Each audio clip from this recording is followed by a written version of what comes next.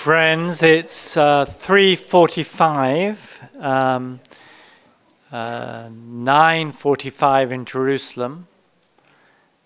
Or is it 10.45? 10.45. um, the Archbishop Wadir and Don can see the entire room, so they're aware that we've gathered because uh, we love them, we love their ministry, and we love the work they're doing. Uh, so let's just pause and uh, pray. The Lord be with you. with you. Let us pray. Loving God, every human being is precious in your sight. And we weep for the land of our Lord Jesus Christ. We weep for the human lives that are desolate and despairing, fearful and afraid, mourning those they love.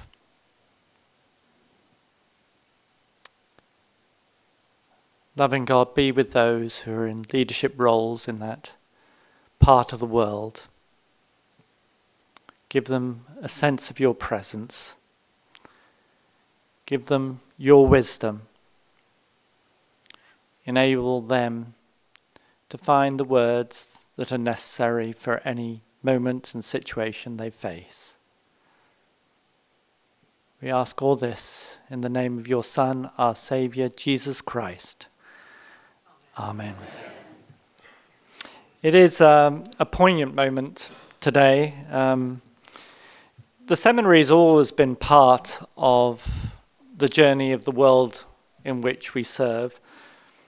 Uh, it's interesting, you know, if you go back to 1823, that was the year that Stephen F. Austin received a grant of land in Texas. Uh, Rossini premiered an opera in Venice. So we've always been part of this world. And at any moment, something that's happening elsewhere in the world could carry extraordinary significance such that in 200 years' time, people are continuing to talk about that day and that occasion and that moment. And therefore, when we heard that the Archbishop was unable to attend, it's obviously a matter of deep sadness. Um, Arch Archbishop Hosam has, is a graduate twice over at this institution with both an MDiv and a DMin from Virginia Theological Seminary. And he's joined from Jerusalem with Wadir and with Don. So I'm going to invite Wadir and Don to convey their greetings and uh, give us a sense of uh, the moment from their perspective. And Wadir, as you're the most recent graduate of Virginia Theological Seminary, I invite you to go first. Well, greetings, everyone. Uh, good afternoon. It's lovely to be back on the Holy Hill, although virtually.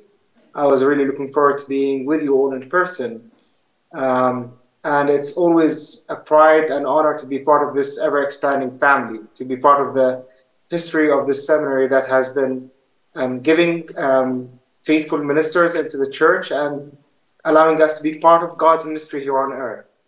So, uh, congratulations to us all as part of this family, and may God bless us while we're doing God's ministry here on earth. And may God bless the seminary with its administration, faculty, and staff and students while they're doing God's um, work. So, greetings from Jerusalem to you all.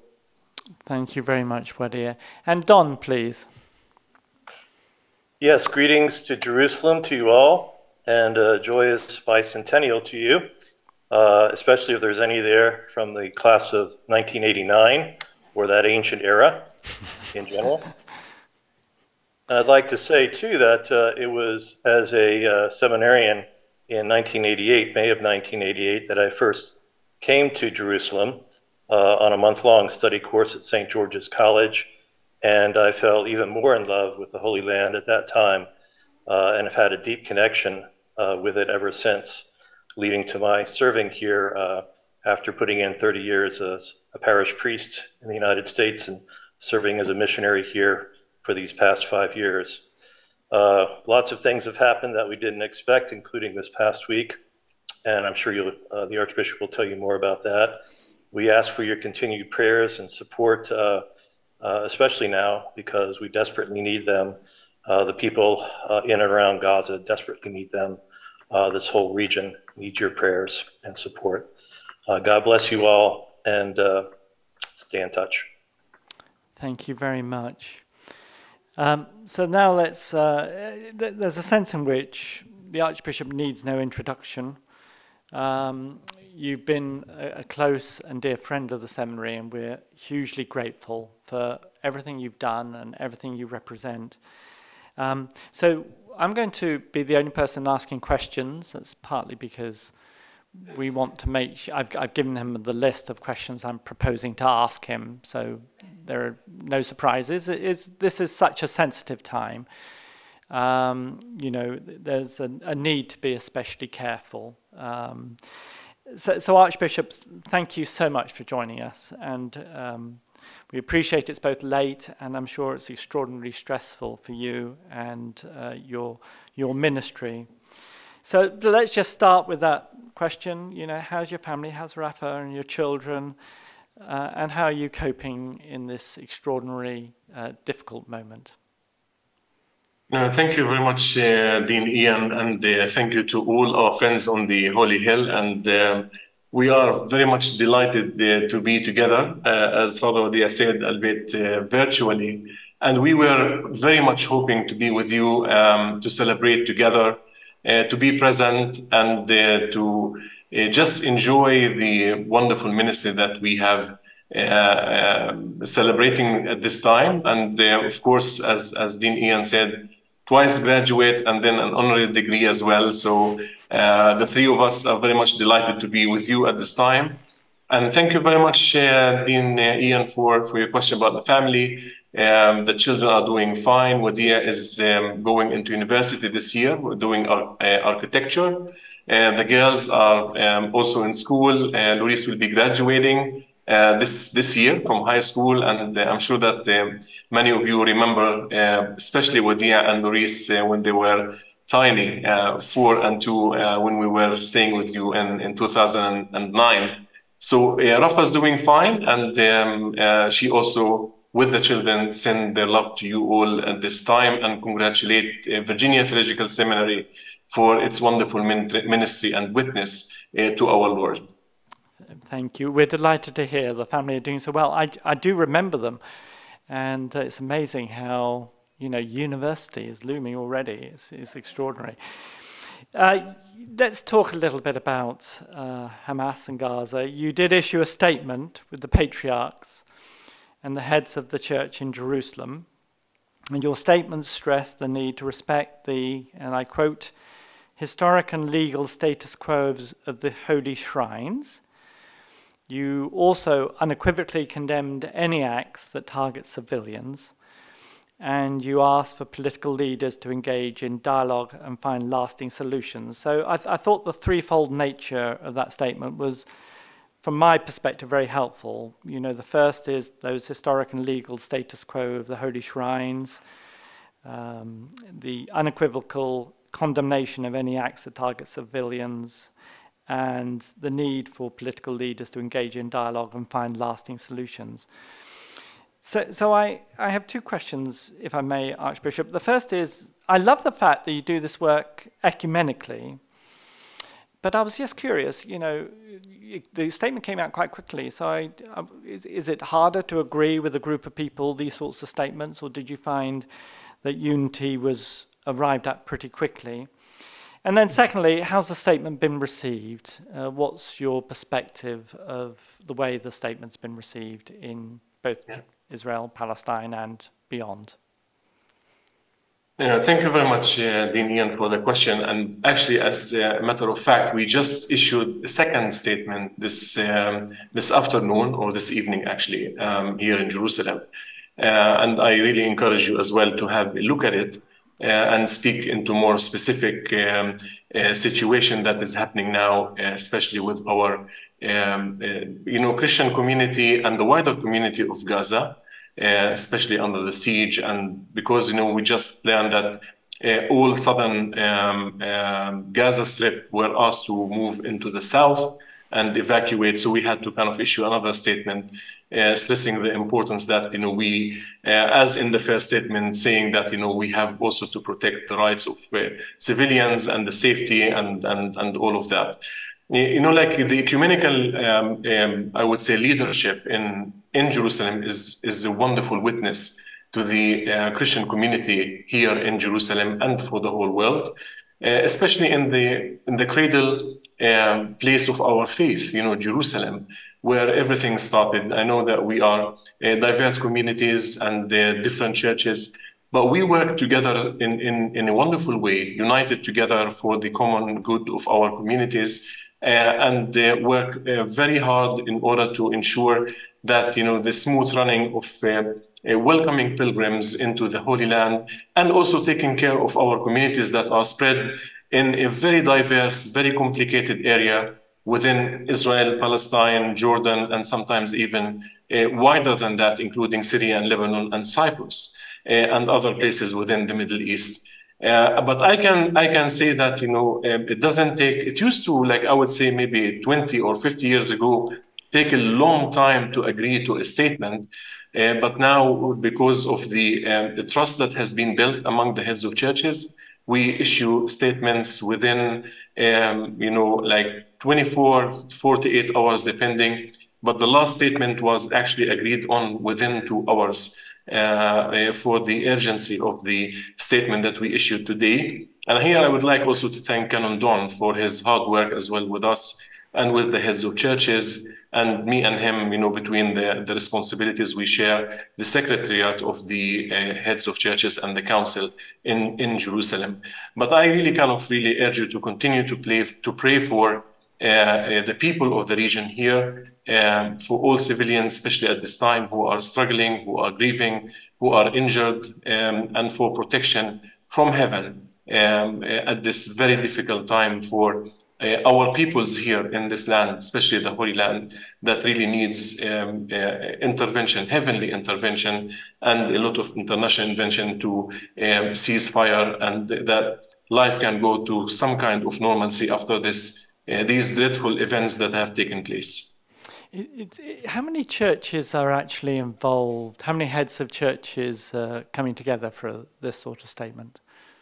Uh, so basically, we are uh, 13 uh, recognized churches. It's a complicated issue, but you know, because of we have inherited uh, a kind of um, a long um, historic arrangement uh, within the Holy Land, and it was inherited from the Ottomans into the British mandate, and then into the Jordanian rule.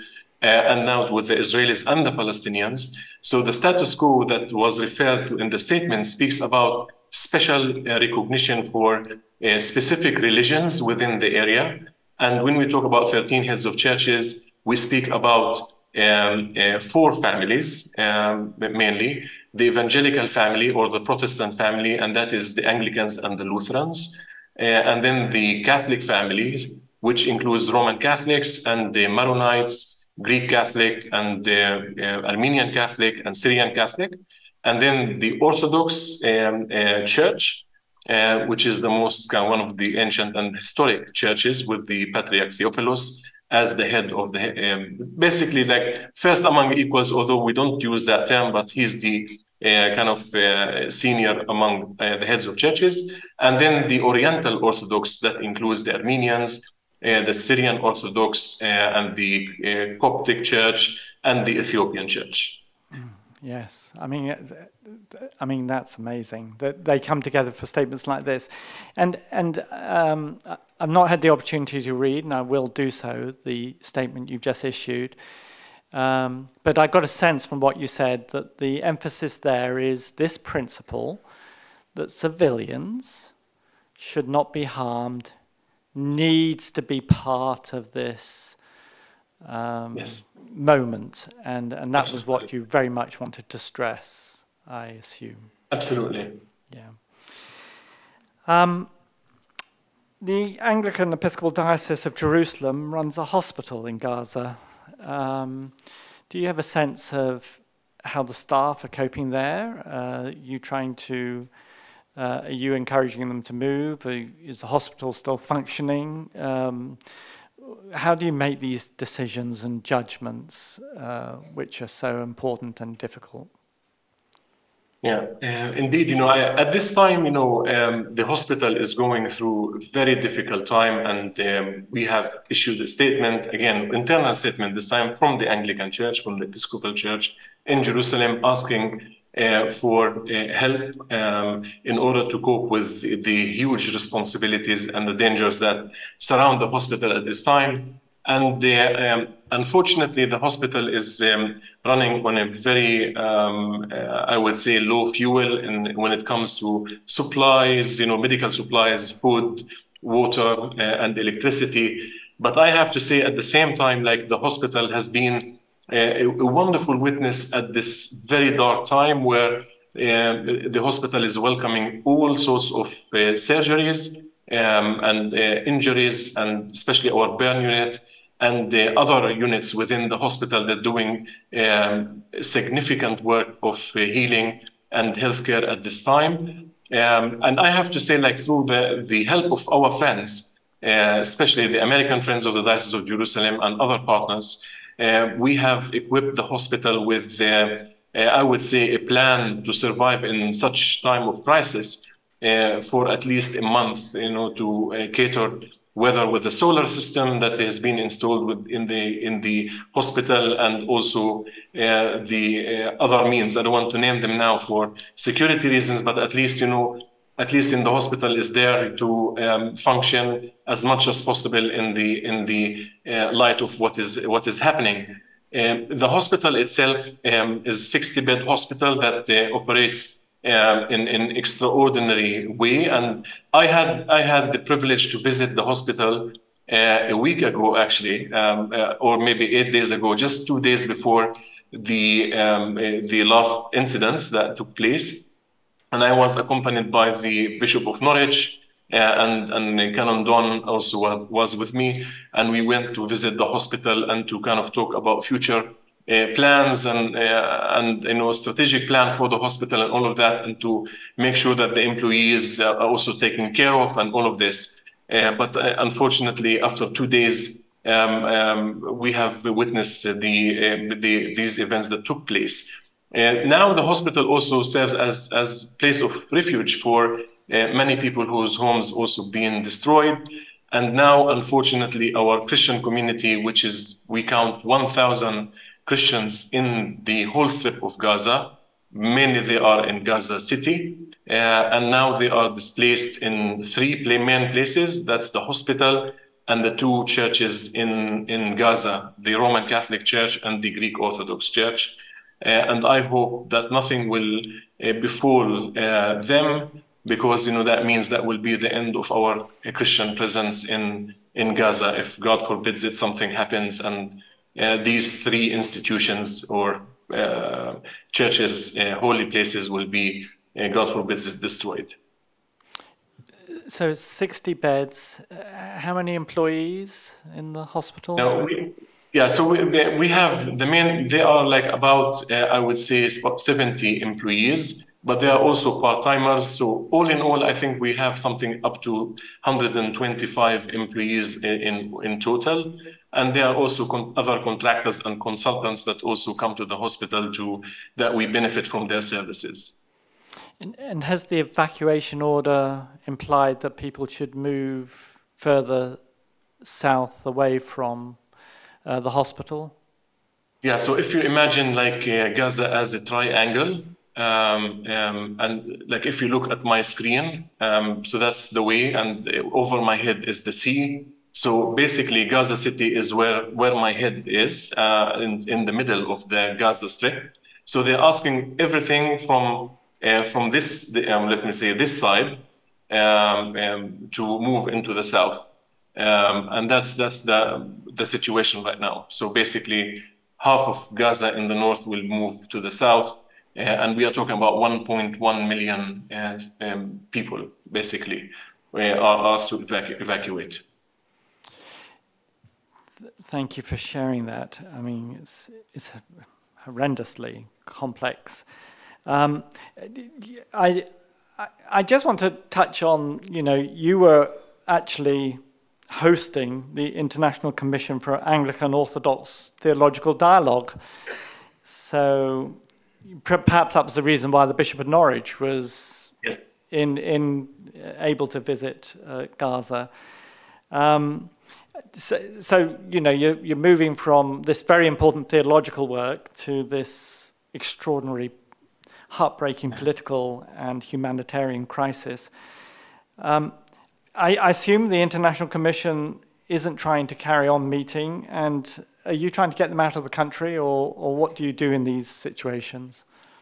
Uh, so basically, we, we were supposed to finish uh, um, on the 12th, uh, but by the 11th, everybody, almost everybody, was uh, out of the country in many different ways. Some had to go to Jordan uh, to cross over the bridge and then fly from Amman. Uh, and some we managed to get them on a flight because um, Tel Aviv airport was not operating um, uh, on full stance. So basically, uh, lots of flights got cancelled and all of that. But we have actually the good news of the dialogue between the Anglican and the Orthodox Church, which is this is the International Commission that met in Jerusalem. We have actually finished and finalized the our discussion on bioethics, and this time the, the theme was uh, organ donation. Uh, and that was a kind of a, a kind of an, un, somehow an uncommon theme uh, to be discussed, but we went into depth to issue that statement, which we called actually the Jerusalem Statement. And if people would like to know more about that, there was a communique that was issued uh, a few days ago about um, this dialogue so if you can Google that, uh, the um, Anglican Orthodox Dialogue in Jerusalem and the organ donation, you can fee, see more uh, details about that. But it was absolutely a blessing to be together. Uh, and again, this is another arm of uh, ecumenical, wonderful ecumenical ministry where we visited Mount Tabor in Galilee for the Transfiguration. And also we visited the Holy Sepulchre and the two major uh, services happened, one in the cathedral here at St. George's and one on Calvary, uh, where the Greek Orthodox uh, Patriarch and representative and uh, Greek Orthodox bishops uh, concelebrated together the Holy Eucharist on one of the most uh, holy places in the Holy Land, and that is Calvary, Golgotha. so we prayed during the week, whole week, because we, during the conflict, we were meeting but the situation was constantly in our prayer as we were praying for all people on all sides and for safety, especially for women and children and vulnerable people uh, that were suffering um, uh, huge atrocities at that time. And, and did most of the participants in the commission who are not living in Jerusalem or have they made their way back to? Everybody, everybody um, left and they're, they're all back safe in their homes right now. Um, now, in, in situations like this, um, I'm sure you you do need to think a little bit about the guidance you want to give your clergy about addressing these themes on a Sunday, um, especially aware that um, something misspoken uh, could create significant challenges.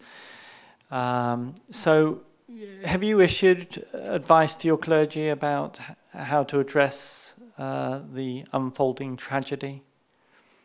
Yeah, indeed. So um, they, they, they will be mainly guided by the statements that we have issued, and I will be also issuing tomorrow a pastoral letter um, uh, to uh, the diocese and to our people uh, here in the region um, in order to continue to pray and we, uh, as the heads of churches, we have also called the 17th of October uh, to be a day of prayer and fasting. And if any of you would like, uh, feel school to do that, that would be also uh, absolutely a spiritual gift for Jerusalem to join us in, in fasting and in prayer.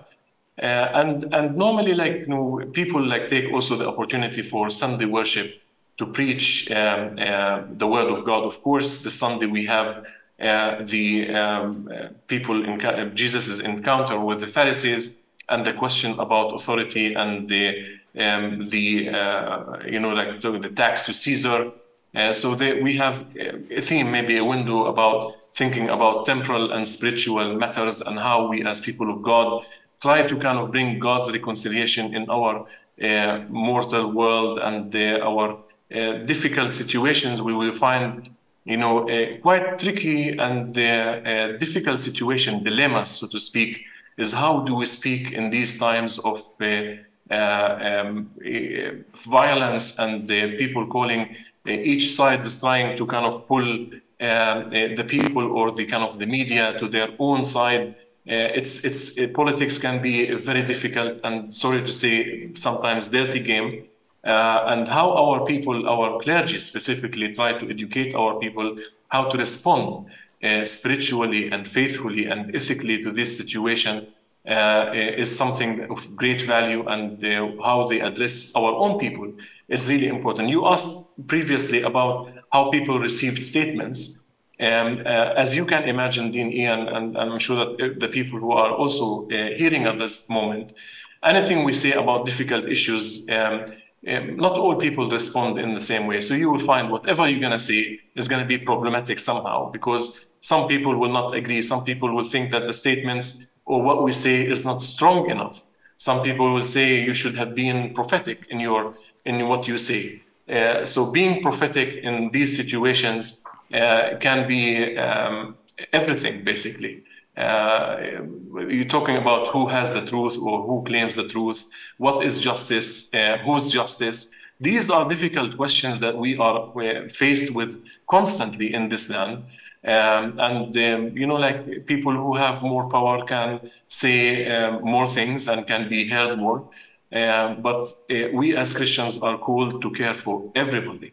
And that's exactly where we come in as people of reconciliation, as bridge builders, and as people who call for a just and lasting peace in Jerusalem and the wider Middle East. Yeah, respect the dignity of every human being. Uh, Amen. You know that's it, and it, it, I mean the you, your diocese covers five countries. Um, do you get a sense of how some of the congregations in places like Jordan or Syria are um, navigating this moment? Uh, or, or, do you find that Christians in all congregations are just sharing this sense of horror and trepidation about what's unfolding? Yeah, indeed. You know, I think you know, by being in a diocese like Jerusalem uh, with uh, five different countries, and I'm sure that you know we have been hearing a lot about what's going on in in Lebanon and uh, and in Syria internally. Let's let's see, um, and certainly in Israel and Palestine. That's four countries already uh, of the diocese that um, I would say that not constantly, but at least you know for the most part, and for the last uh, you know, few decades, you know, things have been very difficult uh, for uh, the people who live in these countries. They have witnessed wars, they have witnessed uprisings, they have witnessed lots of atrocities and, and difficulties. So our people, in a sense, you know, they are trying to kind of make sense of their lives. And um, just me and Rafa talking about our own lives that now I'm, I'm almost 50 and uh, um, for the last, you know, like 50 years, you know, of our lives, we say, what have we uh, accomplished? What did we see? What did we experience in our lives? And we sometimes, you know, are quite not depressed, but you know, we're discouraged that you know, like we spend our life just trying to manage a crisis that is around us, and how do we adapt in places and in situations of first intifada, second intifada, uh, our parents before us the Six Day War, and then the 48 war, and and, and now it continues with the um, with war in in uh, in Lebanon in 2006, and then you know like we have two or three wars in Gaza, and now this one.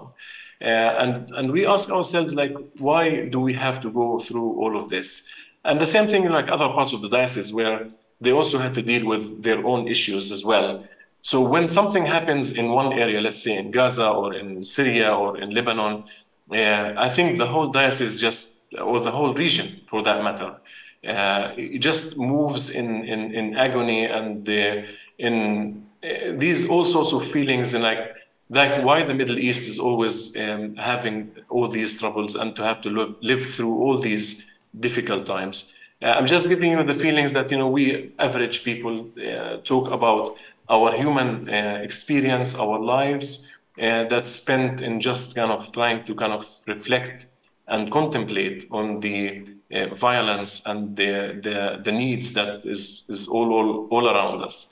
And the diocese has to respond to all of this. You know, we continue, despite all what is happening, we know that, you know, we have a, a treasure that is called Jerusalem, uh, a place of uh, uh, hope and the city of the resurrection that continues to inspire us that you know like that god has promised us uh, something much better than this and we will continue to work uh, hand in hand as as churches um, in order to bring a better life to every human person.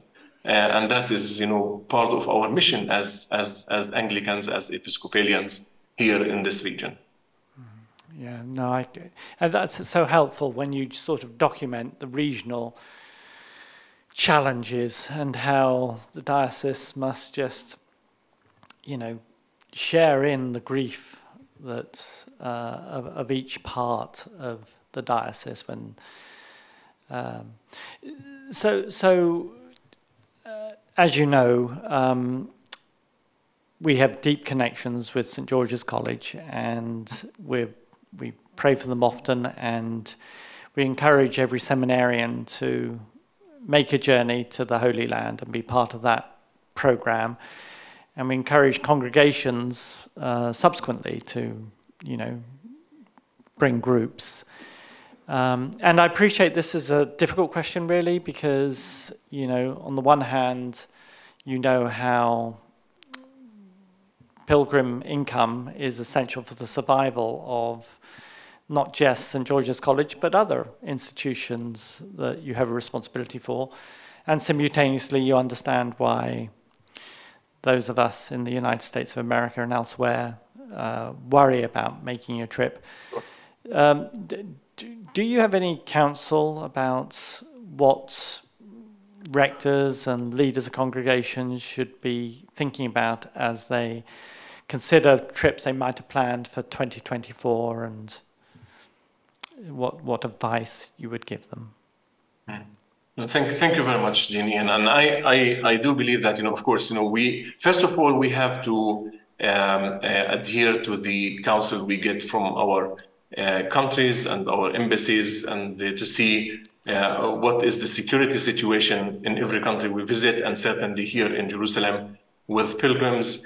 Um, but we need to kind of always be updated about the situation so we don't make um, arrangements that can uh, endanger us, of course. Um, uh, although I have to say, like one of the greatest gifts of uh, the Holy Land that, you know, uh, pilgrims are always safe despite of everything that is happening. And as I said, you know, we hear about lots of things happening, but um, um, I would say like, you know, almost entirely our pilgrims are always safe. They go back home uh, with wonderful experience. And this is something to be, I think, uh, proud of on all, all levels and all sides, because we all take care of our pilgrims and our visitors. So that's, that's one thing that I need also to, uh, to mention. You know, I think, you know, for the next um, maybe um, um, two months or so, uh, things will be uh, certainly difficult, you know, and people already started canceling um, their trips to uh, Jerusalem. That is a fact. Um, but I advise people just to cancel, um, not all at once. You know, like if people have something next year in January or even in December, not to cancel their trips, then to wait and see uh, how the situation will be, and they can always within the um, gap or the period that they can cancel their trips without losing any money. Uh, of course, um, they can do that. So there's no rush to cancel trips uh, uh in advance, like um, months before, uh, just to wait and to get advice from their travel agents or pilgrimage operators and uh, to take a, a, good decision. But at the same time, during these difficult times, and I want to recall, our, you know, like what happened during COVID-19. I want to give any other example where everybody was in lockdown, we couldn't travel, and the, our college and the guest house here uh, and other places uh, around the diocese were empty from any pilgrims or visitors. And we had also to deal with a lot of difficulties.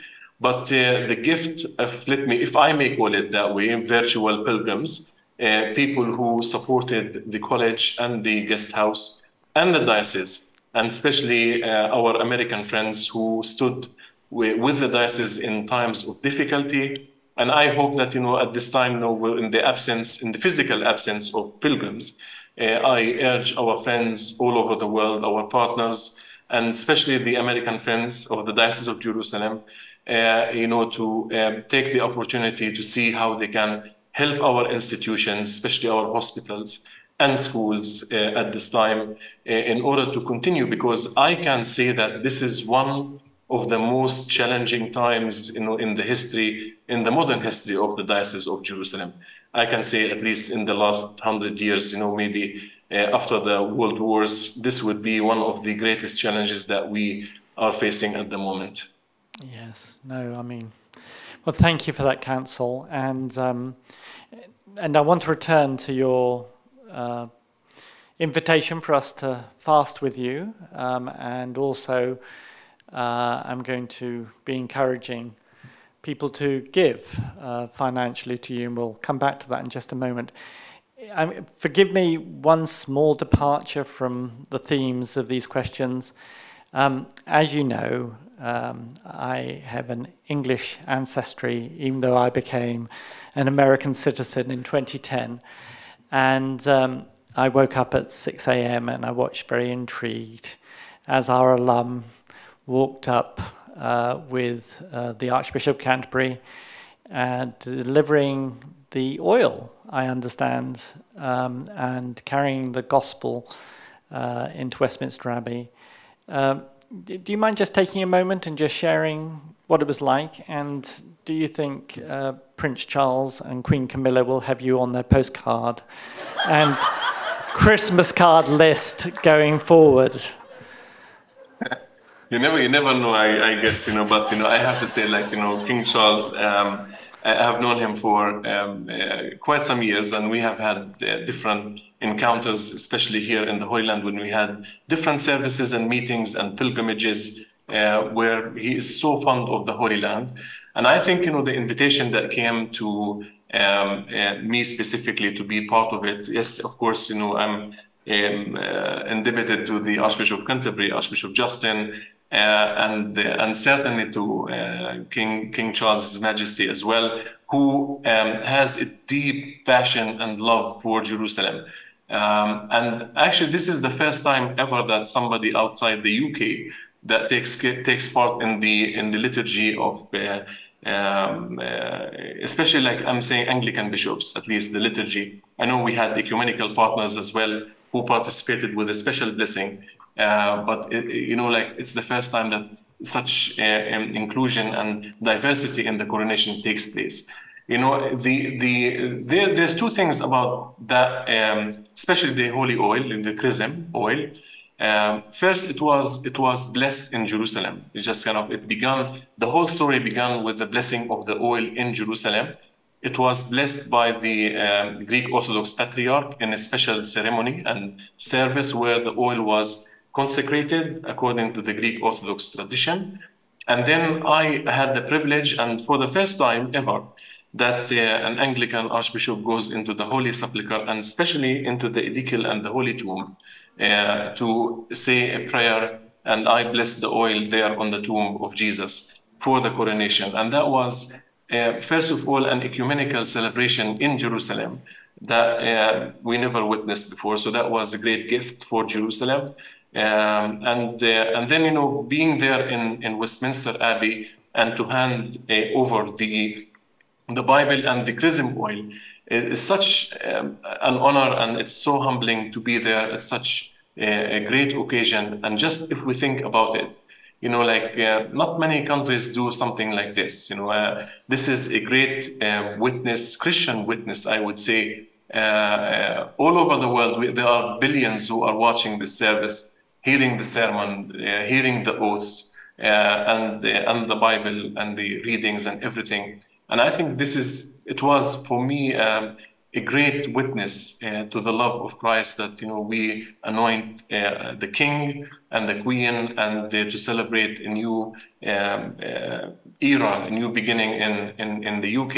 It's such uh, and the Commonwealth. This is a great gift, and I think this is how I take it as a, a, an act of, in one way or the other, an, an act of evangelism and spreading the love of Christ through a, a Christian leader uh, in, in, in the world today. So that's, this is briefly, you know, like the feelings that I uh, had when I was uh, sitting there and walking in the procession and with all the regalia around me with the crown and, and other things. Yes, that's right. It, it was it was extraordinary, and um, and one little mystery that I couldn't quite resolve in my own mind how you pulled it off when I go on an aeroplane, I'm only allowed to take three fluid ounces. How on earth did you transport the oil from Jerusalem to London in three fluid ounce containers? well, that's that's a good that's a good question. Um, I see it's, it's, it's, classi- it's classified, Dean Ian. I don't uh, you know, like what I, but it was it was taken by you know what, once we consecrated the oil, we uh, actually gave it to the consul general here in Jerusalem, uh, who actually uh, sent it with a special convoy on a special uh, with a diplomatic bag into into the uh, palace. That's how how it happened. Thank you very much. It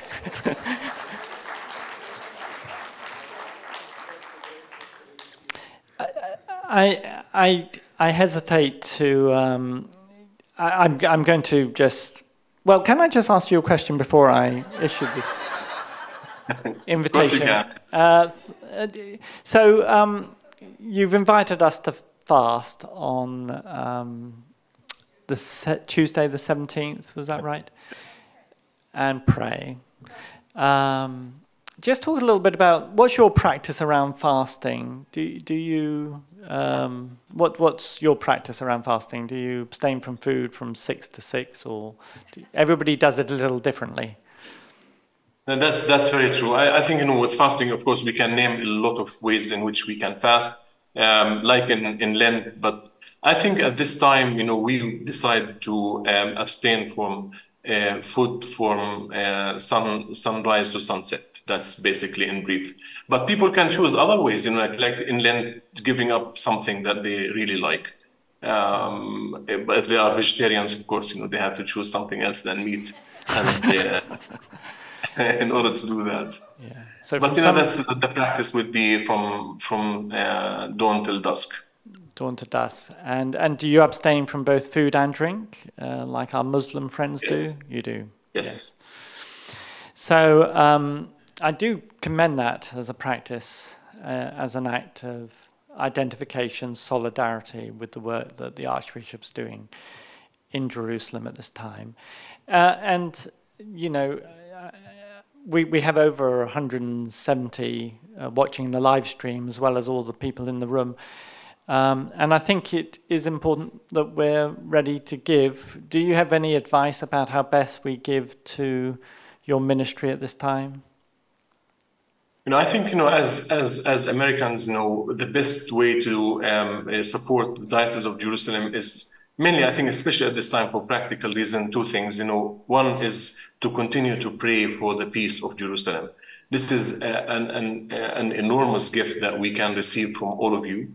Uh, and uh, the other way um, in which we can do practical things is to be in touch with the American Friends of the Diocese of Jerusalem um, and they, they, have their own website and you can reach you know uh, Eileen who is um, uh, our um, director um, there uh, and uh, also Bishop uh, Greg Rickel who is the president of the American Friends and I'm sure that they will tell you how best to help the Diocese of Jerusalem especially at this time that we are going through.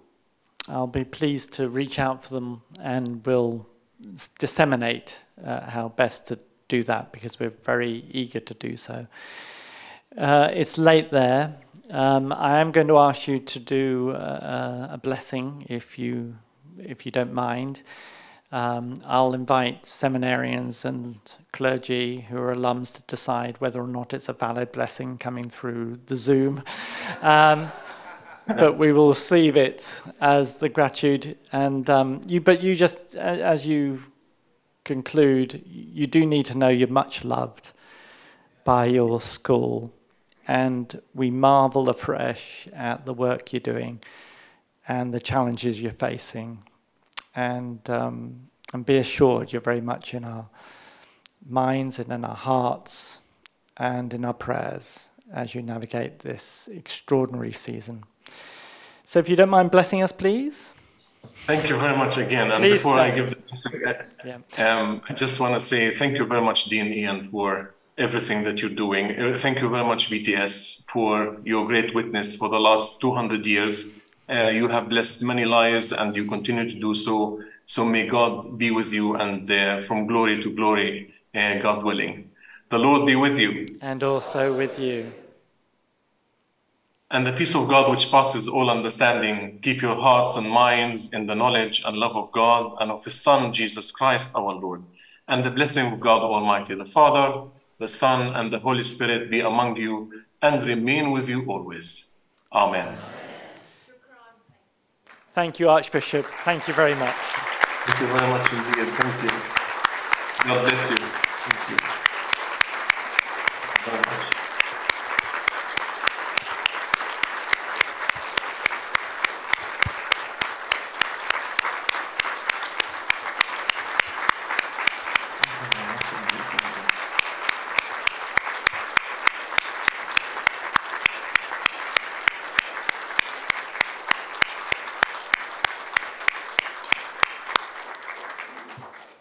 Thank you, Archbishop. And uh, friends, you uh, we meet in the chapel, and be assured we will be praying for the Holy Land.